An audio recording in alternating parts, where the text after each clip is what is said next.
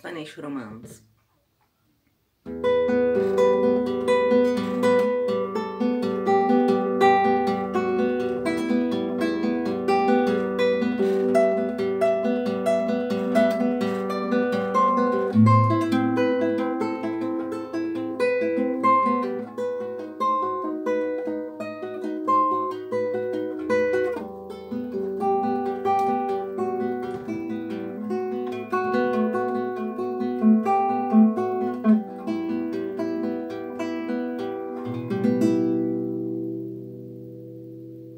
Thank you and have a nice weekend, guys.